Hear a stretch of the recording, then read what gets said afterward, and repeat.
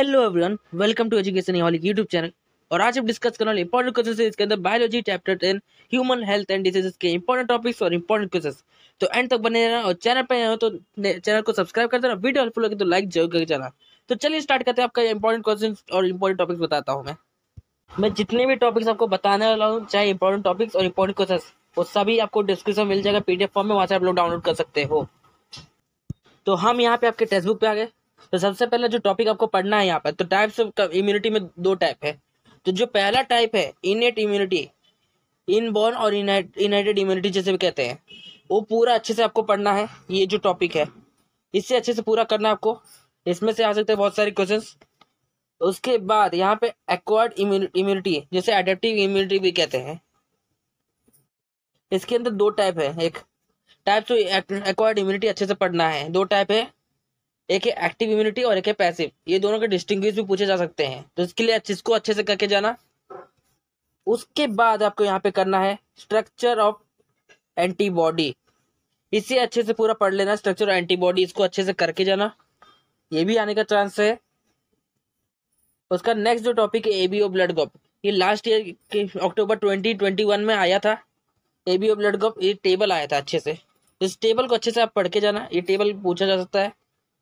यहाँ पे activity question इस पे आ सकता है कि यहाँ पे डैश रहेगा, यहाँ डैश रहेगा। यहाँ पे आपको भर फिल करना रहेगा टेबल को। तो इसको ये अच्छे से पढ़ के जाना A B A blood group को। उसके बाद यहाँ पे कुछ चीज़ों के साइन एंड सिम्टम्स पढ़ने हैं। तो सबसे पहले मलेरिया तो मलेरिया आपको पूरा पढ़ना है। मलेरिया में साइन और सिम्टम्स उसके पढ़ने हैं, फिर इसके ट्रांसमिशन पढ़ने हैं, और उसके डायग्नोसिस और ट्रीटमेंट पढ़ना है। फिर प्रिवेंशन और कंट्रोल कैसे कैसे कर सकता है। वो सारे अच्छे से पढ़ने हैं। उसके बाद यहाँ पर आप देखिए। यहाँ पे जो नेक्स्ट है आपका टाइफाइड टाइफाइड के सिम्टम्स पढ़ने हैं आपको अच्छे से। उसके बाद निमोनिया के सिम्टम्स पढ़ने हैं। फिर नेक्स्ट जो टॉपिक है आपका, यहाँ पर है स्ट्रक्चर ऑफ़ एचआईवी इसे अच्छे से पढ़ना है आपको। स्ट्रक्चर ऑफ़ एचआईवी करके जाना टू मार्क्स टू से थ्री मार्क्स के लिए क्वेश्चन पूछा जाता है इसके ऊपर। इसके लिए इसको करके जाना। और नेक्स्ट जो आपका टॉपिक इसके बाद है यहाँ पर स्टेजेस ऑफ़ एडोलसेंस इससे अच्छे से पढ़ लेना। Early period middle middle period late period adolescence के स्टेज होते हैं। जो आपका अर्ली पीरियड एडोलसेंस में होता है वो टेन टू फोर्टीन ईयर्स का हो सक, होता है। फिर जो मिडल पीरियड होता है फिफ्टीन टू सेवेंटीन ईयर का होता है। और जो लेट पीरियड होता है वो एटीन टू नाइनटीन ईयर का होता है। इससे करना है बस। इससे और कुछ एक्स्ट्रा टॉपिक नहीं करने की ज़रूरत पड़ेगा। इन्हीं में से आ सकते हैं क्वेश्चंस तो चलिए आपको आपके इंपॉर्टेंट क्वेश्चन बता देता हूँ। तो यहाँ पे देखिए, मैंने सारे टॉपिक्स आपके लिए लिख के यहाँ पे रख दिए human health and diseases innate immunity फिर टाइप्स ऑफ़ एक्वार्ड इम्यूनिटी पढ़ना है आपको। फिर mechanism of response of T lymphocytes पढ़ना है। फिर स्ट्रक्चर एंटीबॉडी पढ़ना है। फिर एबीओ ब्लड ग्रुप पढ़ना है।